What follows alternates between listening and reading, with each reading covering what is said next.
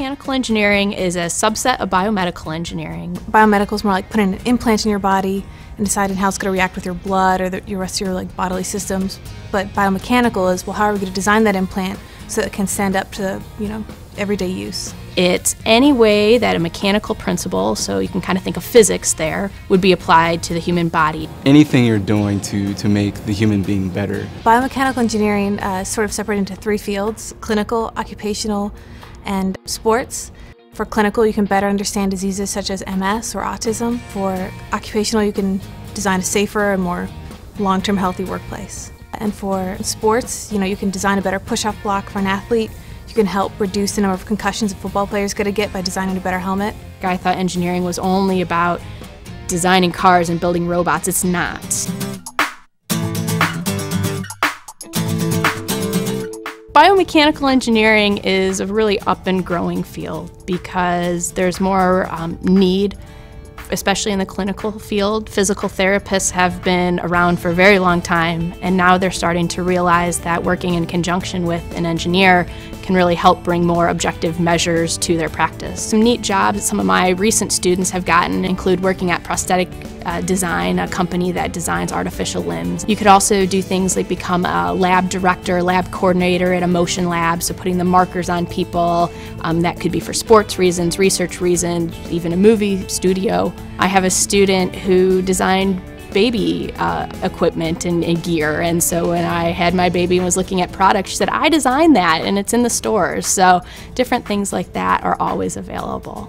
I don't speak well, but this is a good idea. Belinda Isaac, our rehab manager, um, had the idea to contact the Innovation Center and UD and the biomechanical engineer students for this project to see if they can make devices that we can use with our patients um, with the iPad.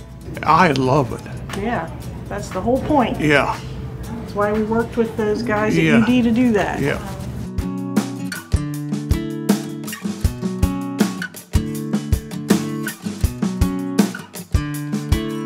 In high school, I, I knew I kind of wanted to be an engineer because I was interested in making things, and I thought that was really cool. I didn't ever know I wanted to be an engineer at all to start with. Um, I really wanted to be a teacher for um, special education uh, and working with children with disabilities. That was really something that I wanted to do. And I didn't know at the time that engineers can do things like that. It was an opportunity to do something for the human being, to do kind of those cool science fiction things that you see in the movie and make them a reality.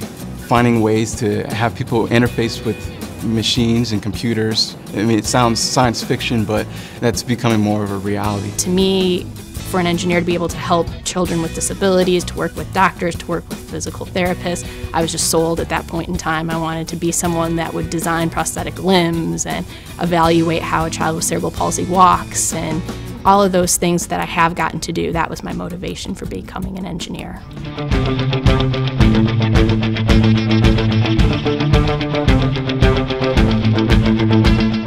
Anytime you talk about engineering, you're talking about STEM. Engineering is the E in STEM. There's a little bit of biology and anatomy. There's a lot of math. Uh, there's some physics involved. Things that you learn in books, which aren't always ex- as exciting, but taking it to something that's real. If you're interested in becoming an engineer in general, but specifically biomechanical engineering, kind of starts in high school, and that's when you want to take as many science and math classes as you can. I think my last one was AP Calculus. I took AP Physics. I took Chemistry. Trigonometry, where you're talking about sines and cosines. I use that all of the time when we're trying to find out the angle that someone's leaning or the angle that a knee is at while walking. Biology is, is definitely a root of biomechanical engineering, and so you want to take that, anatomy, physiology, if those are offered. As an engineer, you will write a lot, and so you want to practice that. Learn teamwork skills. At least as an engineer undergrad, you do a lot of working together in teams. You do a lot of homework together. You'll find that most institutions that have a mechanical engineering department will have biomechanics to some degree. When I was looking for schools, I just emailed the department and said, I know I'm interested in biomechanics. Do you offer that within your program? And if not, is there another program in your school that does? So if I want to go master's, I'll be on a two, two and a half year plan.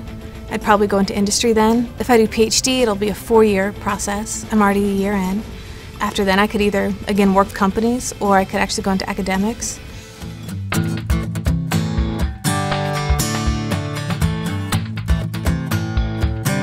I absolutely love biomechanical engineering, and it's because I get to deal with people. I can work with physical therapists and doctors and physicians and people in the clinical side, but then the patients come in, and that's why I, I took this career path. The ability to innovate is becoming so important to be unique in what we design and uh, um, help satisfy needs of different people, and all of that comes from engineering.